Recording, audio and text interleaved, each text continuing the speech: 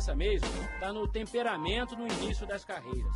Júnior Baiano literalmente voava abaixo, época das tesouradas. Às vezes eu extrapolava.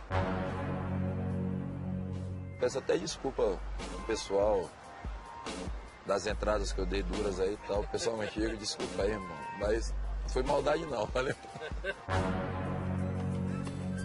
Veja esse lance de deslealdade de Júnior Baiano. Ele vai em cima de Edmundo, esquece a bola e dá uma de Mike Tyson dos pobres. Em frente ao bandeirinha.